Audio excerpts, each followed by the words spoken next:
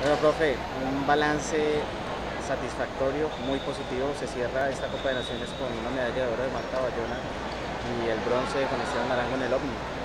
Pues sí, felices, felices porque logramos el objetivo, logramos lo que nos habíamos propuesto, venir a conseguir muchos puntos con miras a llegar muy bien al campeonato mundial.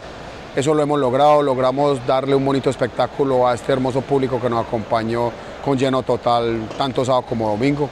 Y felices porque vamos haciendo de nuestro equipo un equipo muy, muy fuerte, un equipo de, que, que tenemos de dónde coger ese relevo generacional con el programa PAP, con todo el apoyo de la Federación de, Ciclismo en cabeza del doctor Mauricio Vargas, del Ministerio del Deporte, del Comité Olímpico, se hacen realidad todos estos sueños y, y poder llevar a estos muchachos a, a, grandes cosas en el mundo.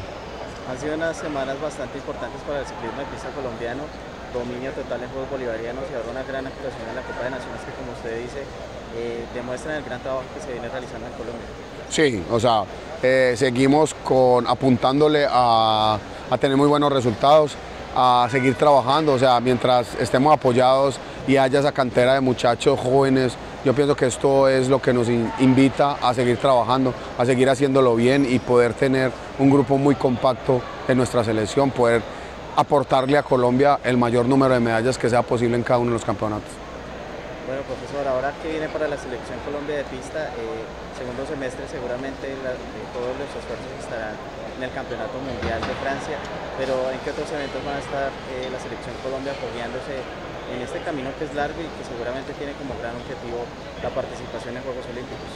Bueno, lo primero que tenemos que hacer es el Campeonato Nacional a final de este mes. Eh, mitad de agosto tendremos el Campeonato Panamericano, en octubre el Campeonato Mundial y de allí tratar de que dos, tres corredores de nosotros o, o posiblemente cuatro vayan a la Champions League. Eso nos llevaría ya hasta diciembre y, y poder tener pues, nos, nuestros corredores constantemente corriendo en, en grandes carreras. La gente se pregunta el estado de Kevin Santiago Quintero después de la caída que sufrió en la prueba de ayer, ¿cómo se encuentra? Bueno, no, Kevin anda muy bien, Juliana anda muy bien también después de su caída. Les tomaron los respectivos exámenes y pues de todas maneras luxan el hombro porque los tendones quedan aporreados y no son capaces de competir. Igualmente Juan Esteban Arango con esas dos caídas también iba jodido de la mano al final, pero yo pienso que se van reponiendo y pues el, parte médico de, nuestro médico Sebastián es, es bastante bueno, alentador y los muchachos están bastante bien.